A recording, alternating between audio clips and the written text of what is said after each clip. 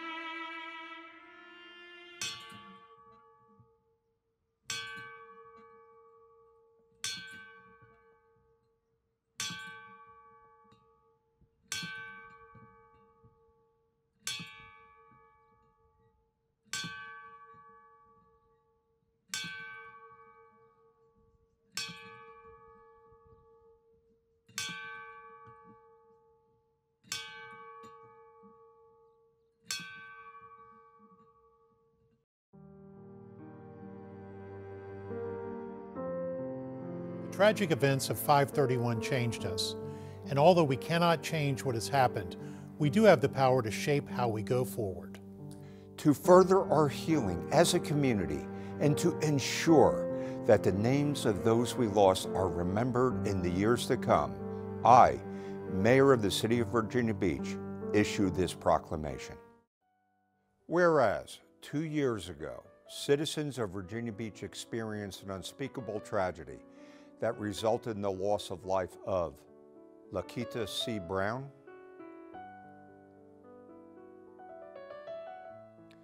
Ryan Keith Cox,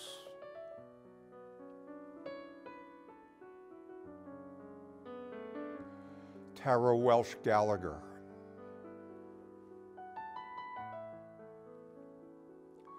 Mary Louise Mary Lou Krutzinger Gayle,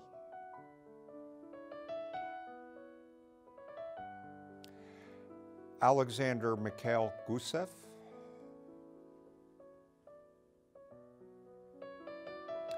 Joshua O. Hardy,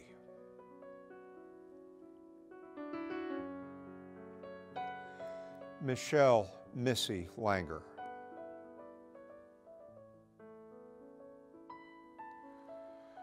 Richard H. Nettleton,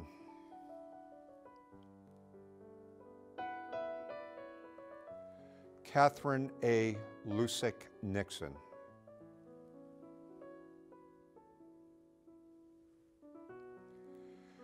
Christopher Kelly Rapp.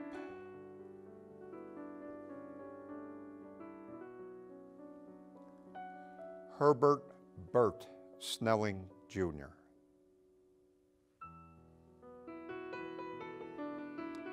And Robert Bobby Williams.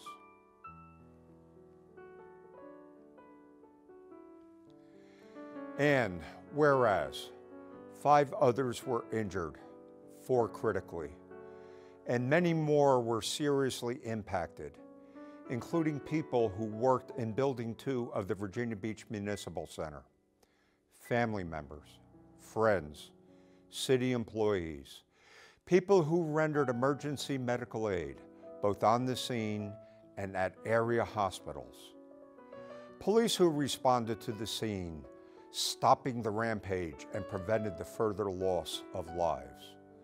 people who staffed the Emergency Operations Center and Family Assistance Center, city leaders and elected officials who helped guide the city's recovery efforts, and members of the Virginia Beach community and beyond who have demonstrated compassion and generosity through many acts of kindness.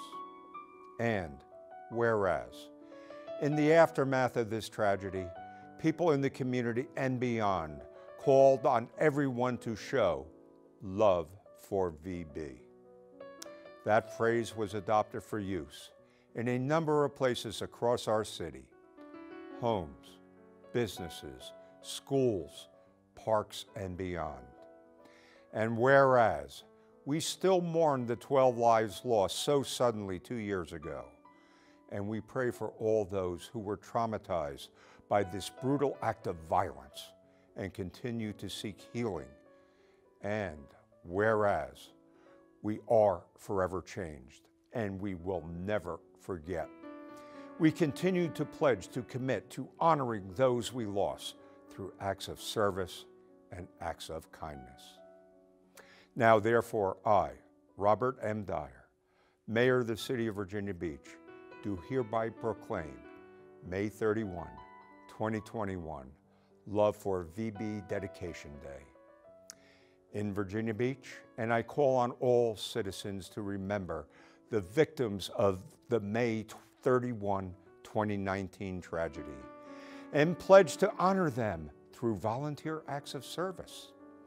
I further order that the flag of the City of Virginia Beach shall be flown at half staff in all city buildings and on city grounds from May 28 through sunset on May 31, 2021.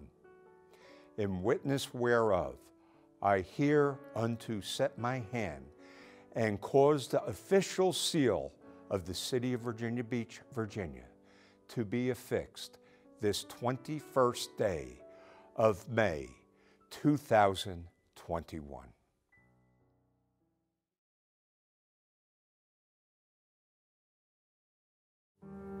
To those who are healing, we wish you peace and comfort. You know, in the weeks following 531, one of the things we did was decorate rocks with messages of hope and healing.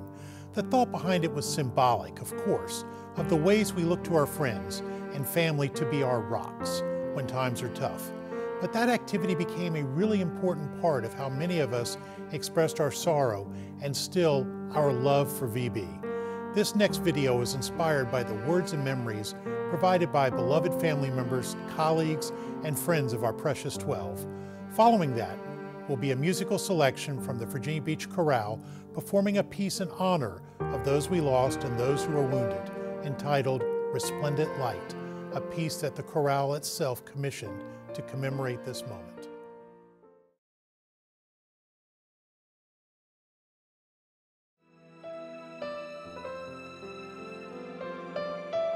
Rocks, these unique babies of Mother Earth, can be pebbles, stones, and even boulders. Despite their flair for originality, a rock's unassuming nature leads people to innocently walk by them without a glance. The mere sight of a rock tells you nothing about what that rock has experienced, nothing about its strength or the heaviness it bears.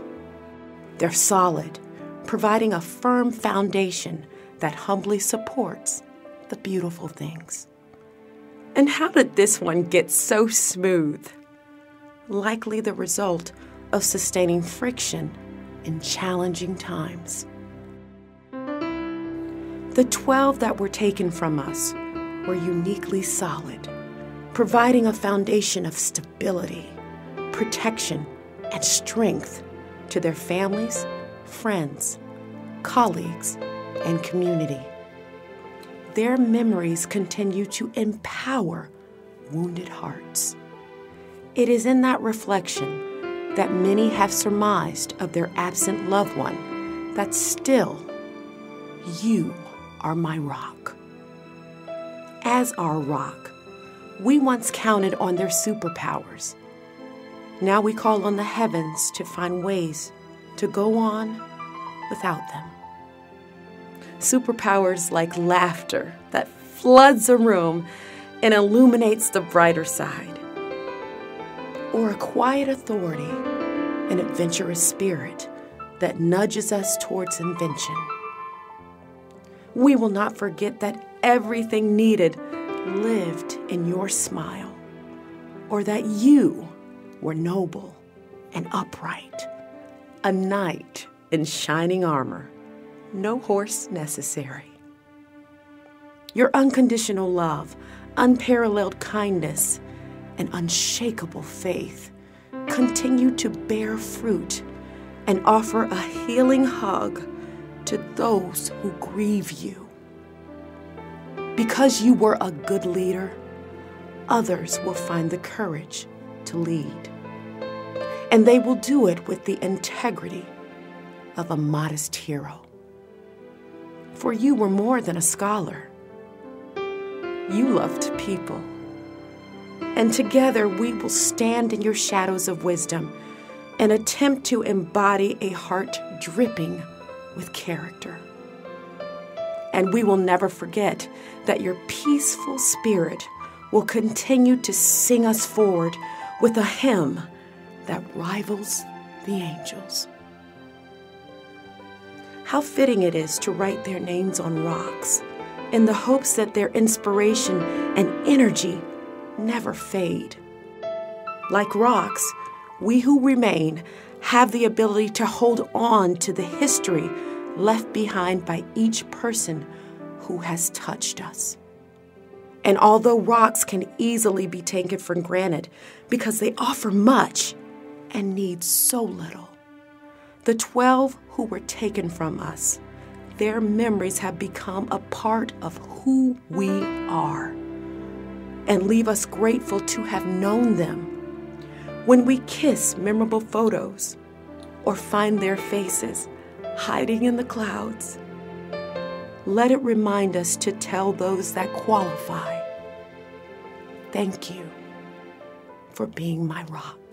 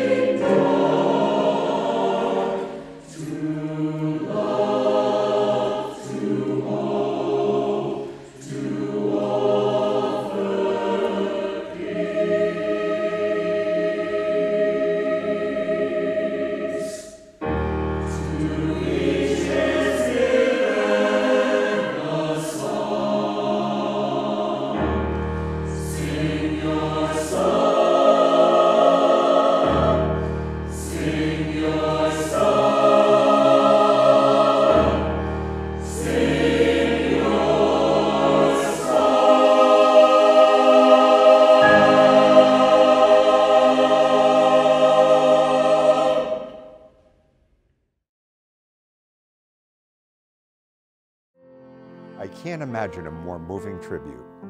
Thank you to the friends and family members for sharing your hearts with us and to the Virginia Beach Chorale for that beautiful and uplifting musical selection. May it help those who mourn and find comfort in resplendent light. When the tragic shooting presented us with a burden we might have thought was too great to bear, the people of Virginia Beach showed up because we are Virginia Beach and that's what we do. They became the comfort and strength for others as they reached out in kindness, in prayer, and out of love for VB. Those acts of kindness define us while helping us remember those we lost. So let's keep it going. Whether you volunteer, carry out a thoughtful gesture, or offer words of compassion to a wounded heart, kindness can ease the weight of the world. Just listen to the words of people just like you and I who have chosen to remember our fallen through acts of kindness by volunteering.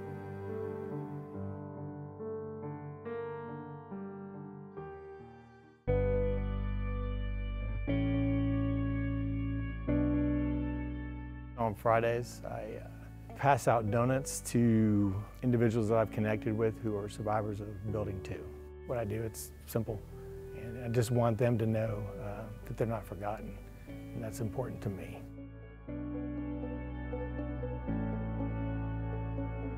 After we had the tragedy, in May, they said they needed therapy dogs, and I was so fortunate that um, we had Peyton because we could go visit that summer every week with a group of the survivors. And so I was hoping in some small way we would um, bring them a little comfort.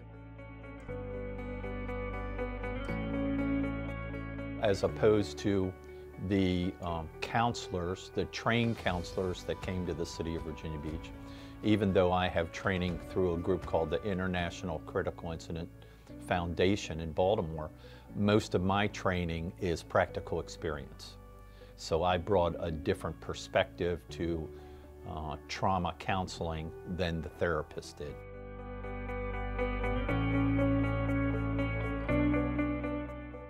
What I do for the city is I volunteer at the um, Joint Use Library here on the um, TCC campus. It's an amazing experience. I have no regrets at all about doing this.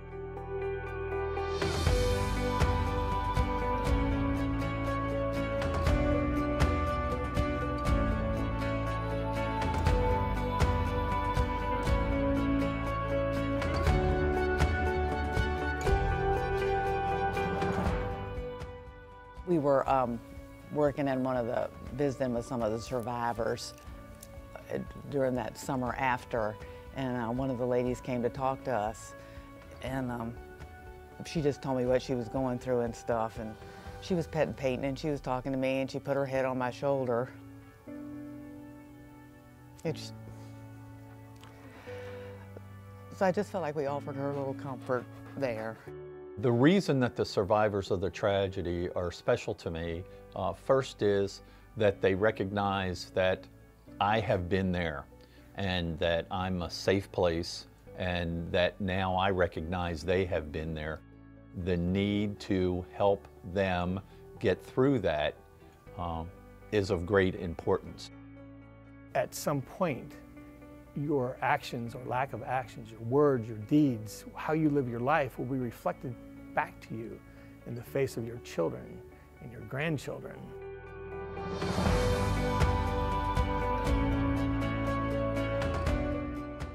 The reason I'm inspired to give back is because of how I was raised by my parents and my um, Catholic faith that was instilled in me. My parents always told me to like give back and be nice to everyone and I just really wanted to continue to do that as I got older.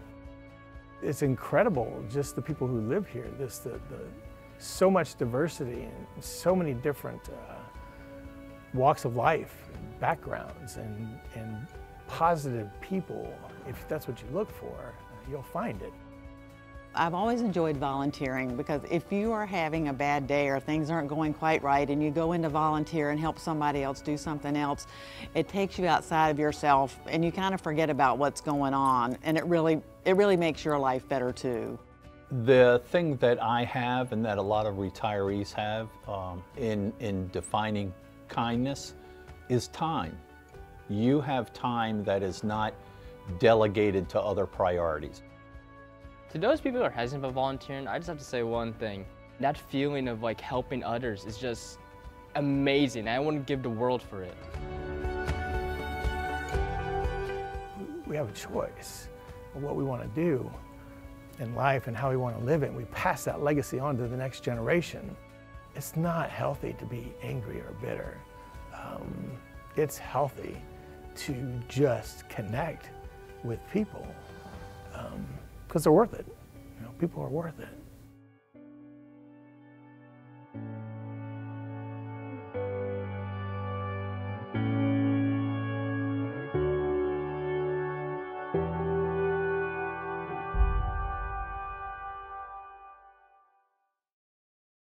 The words don't exist that can make pain go away instantly, but you can make things better.